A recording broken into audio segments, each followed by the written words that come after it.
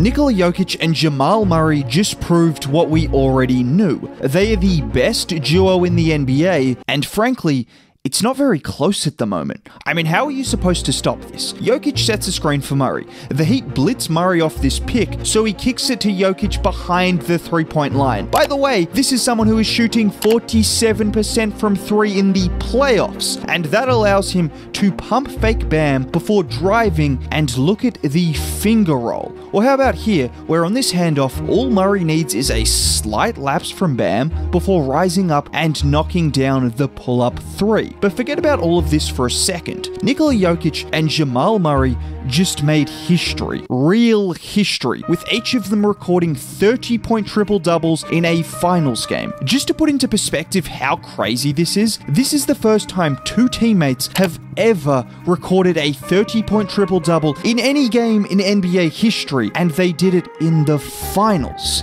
But before we talk more about the greatness that is this duo, even with them putting up historic numbers, the Nuggets still needed someone else to provide some kind of impact. And between the four of Gordon, Porter, Bruce Brown, and KCP, well, they struggled, combining for 24 points on 8 of 26 shooting. So who decided to step up?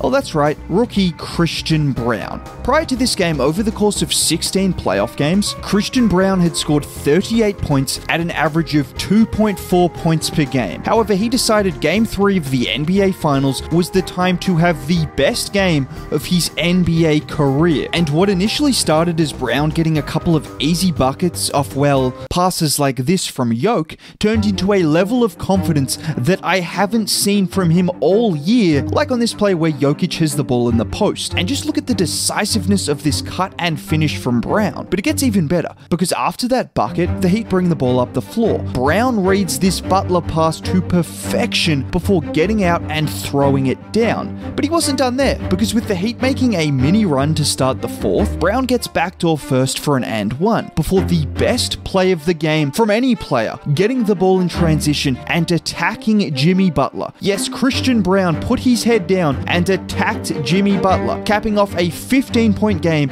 in which he shot 7 of 8 from the field to go along with some great defense as well. I mean, don't just take my word for it. I, I told him, You won us the game. Like you said, he's a winner and he won us the game. And to think the Nuggets not only got him at pick 21, but they have him under contract for another three years at 3 million a year. It's almost better business than today's sponsor. Ekster. If you want a brand which makes high end products without sacrificing high end quality, Ekster is the brand for you. From traditional options like their smooth bifold wallet to newer models like their Parliament wallet, which I've personally been using for the last few months, and I can say from experience that the ease at which I'm able to flip through cards whilst also having it effortlessly fit in my pockets has been a huge upgrade on my previous wallet. That's not all though. They've also come up with an innovative way to find your stolen or lost wallet with their wallet tracker card, which takes away the stress of worrying where that misplaced wallet might be. And over the next month, you can upgrade as well with up to 35% off items at checkout if you use the code SIXMAN. Now, if you want any idea as to how impossible the Nikola Jokic and Jamal Murray two man game is to defend, look no further than the first quarter of Game 3. Through the first five minutes of the game, Jamal had scored four field goals, picking apart this Heat defense in the two man game.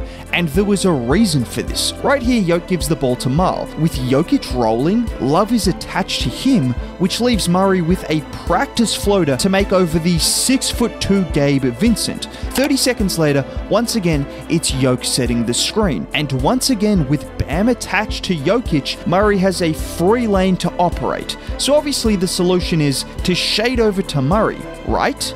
Right? Well, in this play, Bam does exactly that. And watch what Murray does here really well. He takes that one extra dribble left, which creates a wide open lane for Jokic to float it in. A couple of minutes later, the Heat send two bodies at Murray again. And once again, Jamal does a great job at this time drawing Zeller away from Jokic, giving him time to float it in. But it gets even better, because what if the opposition decides to blitz Murray and then send a third body to Jokic? Can that work? Work? Well, that allows things like this to happen. Jokic touch pass to Gordon.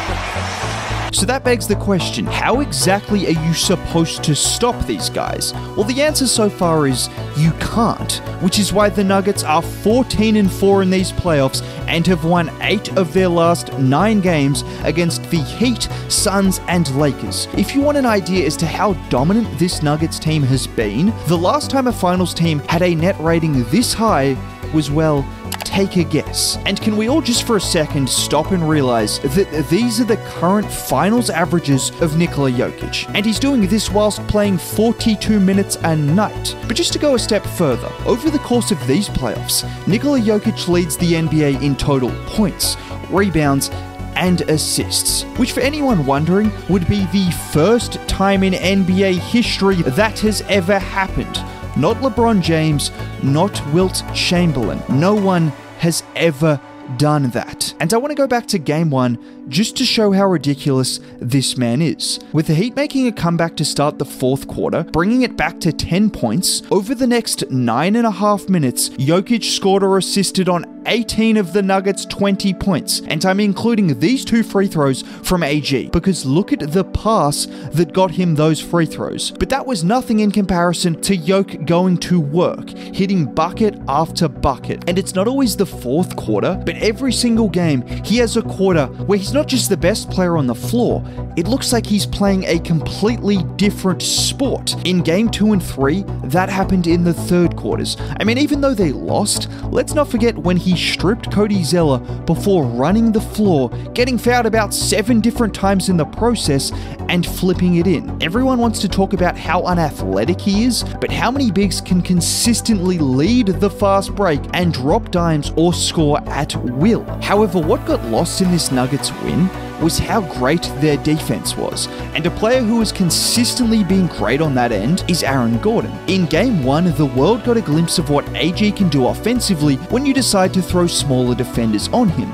But that's nothing in comparison to his defensive workload all playoffs. Following game one, Gordon said this Definitely going to be sitting in my rocking chair when I'm 79 or 90 years old and talking to my kids about, yeah, back in the day, I locked these guys up. And well, whilst LeBron and KD fans didn't like that, if you look beyond these series numbers and look at the numbers of these three guys when Gordon was the primary defender, he might have a point. And it wasn't just those three either, getting stops against Devin Booker, Anthony Edwards, and now Jimmy Butler. Although I think an even bigger testament to his defense has been how consistently Butler has looked to avoid him at all costs. Remember, this is the same Jimmy Butler that was doing this to Jrue Holiday in round one. Now, despite not defending Jimmy all that much in this series because of the switches, he's still been locking up the Heat consistently. Like here where Strus tries to take him off the dribble. Gordon forces him middle before reading the spin, and his physicality is just too much. Or how about here where Jamal gets lost in the action, but the leaping ability of AG, well, we know all about that. And all playoffs long, he's morphed into what the Nuggets have needed. From guarding bigs to smalls to hitting threes in game four against the Lakers or bullying smaller defenders in game one versus Miami, Aaron Gordon is a true Swiss Army knife and a huge reason the Denver Nuggets continue to dominate in these playoffs.